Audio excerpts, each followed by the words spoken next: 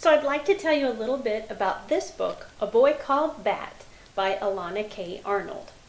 Bixby Alexander Tisby, or Bat for short, lives primarily with his sister Janie and with his mom, who is a veterinarian. And it's through her job that a baby skunk comes into Bat's life. Now, Bat gets really attached to this little creature.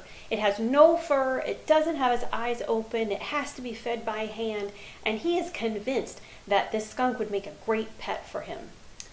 Well, his mom is not so excited about this.